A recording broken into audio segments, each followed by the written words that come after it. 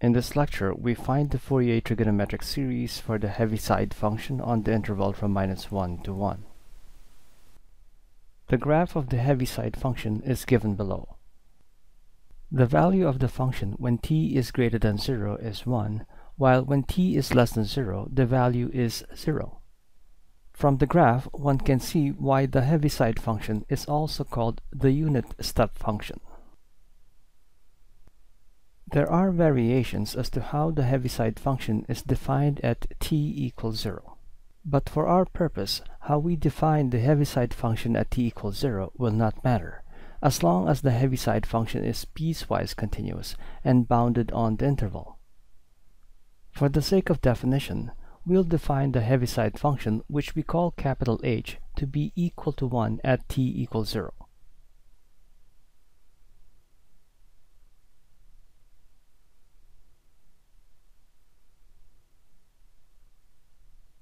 The Fourier series of capital H starts off with the constant term a sub 0. This is followed by the summation of the trigonometric terms. More specifically, we have a sub n times cosine n pi t over L. We'll explain what capital L means in a moment.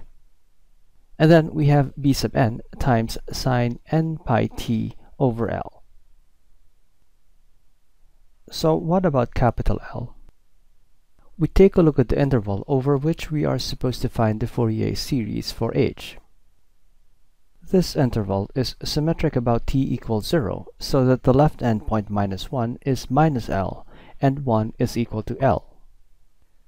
With capital L equal to 1, the Fourier series then becomes a sub 0, plus the sum of a sub n cosine n pi t, plus b sub n sine n pi t.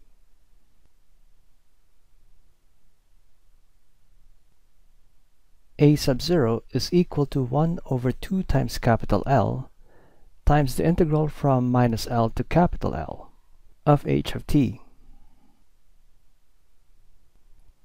Capital L is equal to 1, so that this is equal to 1 half times the integral from minus 1 to 1 of h of t. For h of t, we refer to the formula. h of t is non-zero only when t is greater than or equal to 0, so that the integral becomes half the integral from 0 to 1. And there, h is equal to 1. The antiderivative is half times t, and we evaluate this from 0 to 1, giving us 1 half for a sub 0.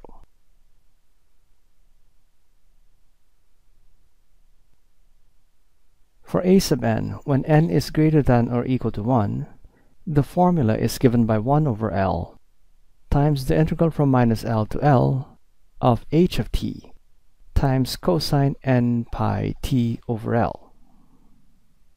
Capital L is equal to 1, so that we can ignore 1 over L.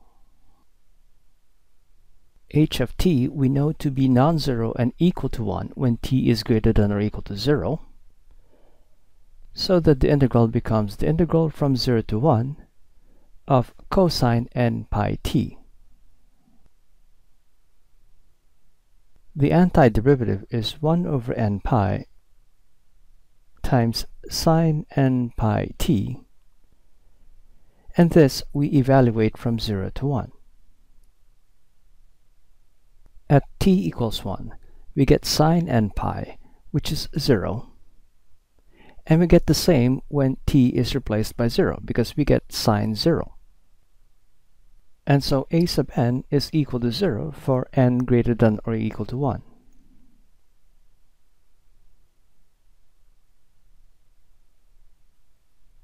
We have a similar formula for b sub n. b sub n is equal to 1 over L times the integral from minus L to L of h of t times sine n pi t over capital L. Replacing capital L by 1 and using the definition of the Heaviside function, we get an integral similar to the integral that we got for a sub n. b sub n is equal to the integral from 0 to 1 of sine n pi t. The antiderivative is minus 1 over n pi times cosine n pi t. And this we evaluate from 0 to 1. To evaluate this, we break this down into two cases. First, the case when n is odd. At t equals 1, cosine n pi t is cosine n pi, and when n is odd, cosine n pi is the same as cosine pi, which is minus 1. And so we get 1 over n pi for this endpoint. At t equals 0, we get cosine 0, which is equal to 1, and so we get minus 1 over n pi, which we are subtracting, and so we get plus 1 over n pi. So b sub n is equal to 2 over n pi when n is odd. For the other case, when n is even, at t equals 1, cosine n pi t is cosine n pi, which is equal to 1. And so we get minus 1 over n pi for this endpoint. At t equals 0, cosine n pi t is cosine 0, which is equal to 1, and so we get exactly the same value minus 1 over n pi, but we are subtracting this, and so we get plus 1 over n pi, and we get 0 when n is even.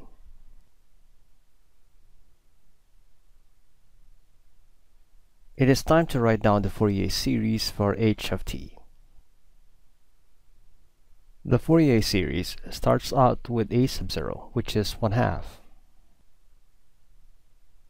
There are no other cosine terms because all the other a sub n's are equal to 0.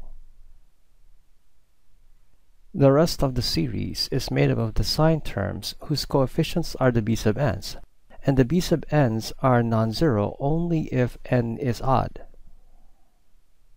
So the next term should be 2 over pi times sine pi t for n equals 1.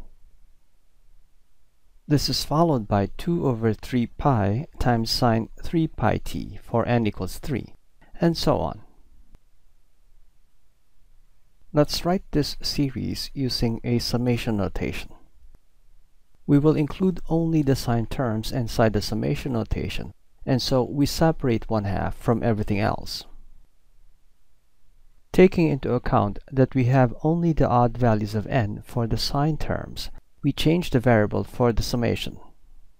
First, we factor out 2 over pi from the coefficients out of the summation. Next, since n has to be odd for the sine term to be non-zero, we write n as 2k minus 1, so that k will be the index of the summation. So what goes inside the summation is sine n pi t, n is replaced by 2k minus 1, all over n, or 2k minus 1.